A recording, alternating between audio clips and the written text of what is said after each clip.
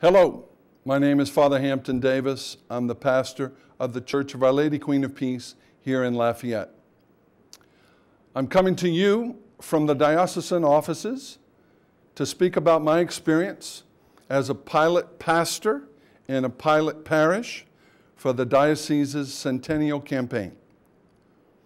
Our parish was excited about hearing that the centennial campaign was happening. However, we weren't so excited about the goal we were given as a pilot parish last summer. You see, on April 16, 2010, our church building burned. The inside of the church had to be gutted. We had to rebuild the church and bring it up to code. We entered the new church at, on Christmas of 2012, and we entered with a significant debt of half a million dollars. When the goal of $445,000 was offered to me by the team that the diocese had brought on board to run the campaign, I was shocked, stunned, and frustrated to say the least. We were being asked to raise over five years as much as we owed $445,000, our goal, and our debt at the time, $480,000. Well, after processing lots of feelings with my finance council and pastoral council, I was able to share some of my concerns with Father Bill Blanda and the members of the team coordinating the Centennial campaign.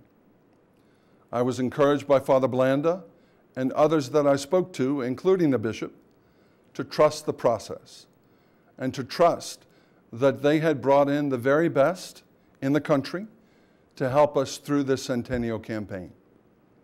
And so we began to trust the process and our attitude began to shift.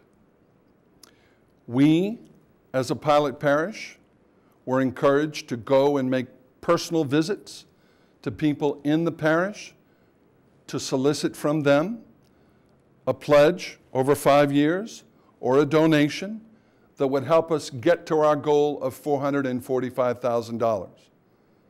Help the bishop attend to his four major concerns the poor and the disadvantaged, seminarian education and formation, retired priests, and campus ministry at LSUE and UL Lafayette. In the meantime, we were told that we could keep 30% of what we raised until we got to our goal of $445,000. And after we got to our goal, we'd get to keep 50%.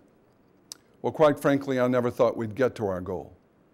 And yet, personal visits happened, a mailing campaign happened, a phone-a-thon happened, and by the time we got to commitment weekend, we were at $351,000. I couldn't believe it.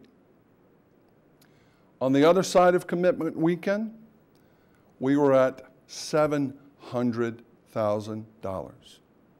And we're currently in the fifth week of Lent at $710,000, which means there's over $260,000 coming back to my parish to be applied to our debt. Our goal is to be debt free by 50. That is to say, our parish's 50th anniversary is going to happen in 2019. If we keep making our monthly payments and we keep reaping the rewards that the Centennial campaign has blessed us with, we are going to be debt free. And at the beginning of all this, I never thought I'd be able to say that.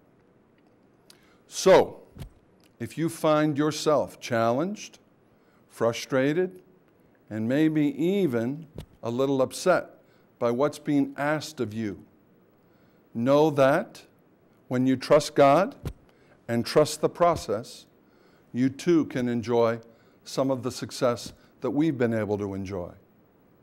I was a doubter. I am now a convert, and I am grateful that the Centennial Campaign will bless the diocese and is already blessing the parish of Our Lady Queen of Peace.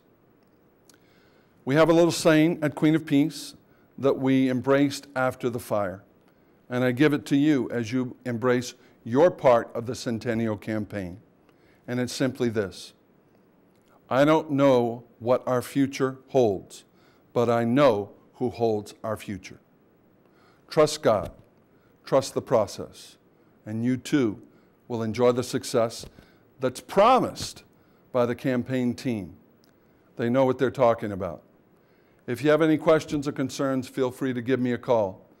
Trust my prayers for you as you embrace your part of our centennial campaign pilgrimage. God bless you.